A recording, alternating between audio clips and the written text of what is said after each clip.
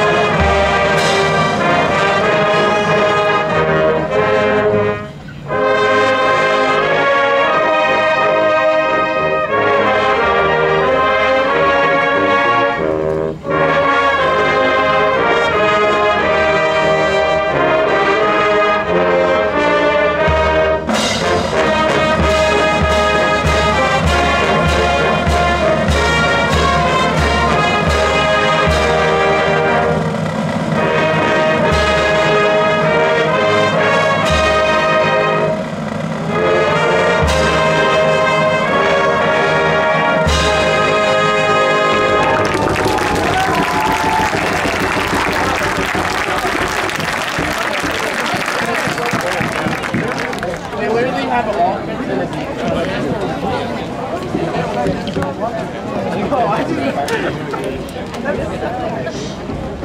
this their JV? Maybe they're all.